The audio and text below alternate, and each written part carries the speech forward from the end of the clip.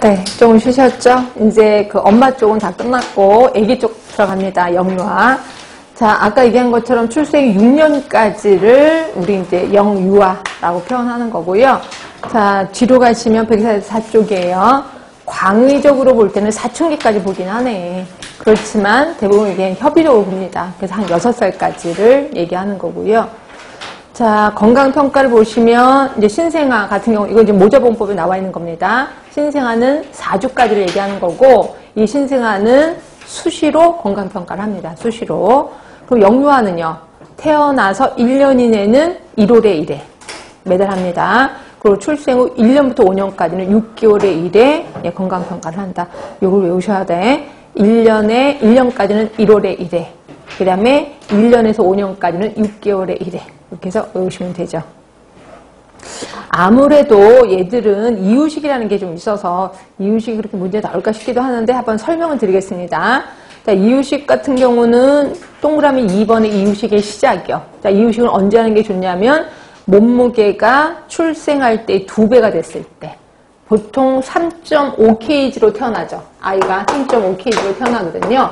요거의 두 배가 됐을 때부터 이유식을 하는 게 좋은데 요게 언제냐면 한 4개월 뱃속에 애가 그러니까 뱃속에 애가 아니라 태어나서 4개월 정도 됐을 때가 한 두 배가 될 거예요.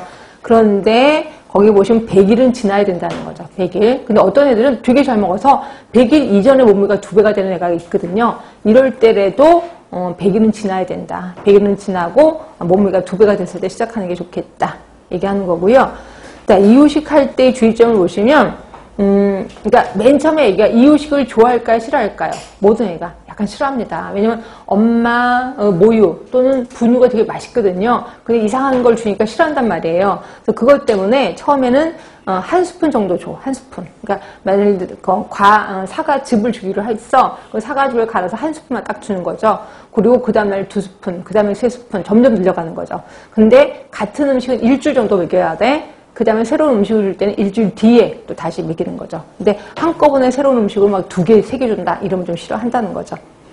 자, 그 다음에 이후를 하기 전에 수유 시간을 규칙적으로 하는 습관을 좀 들여라 그랬는데 지금은 여러분 상식이긴 하는데 모유를 줄 때 4시간 간격으로 주나요? 애가 원할 때마다 주나요?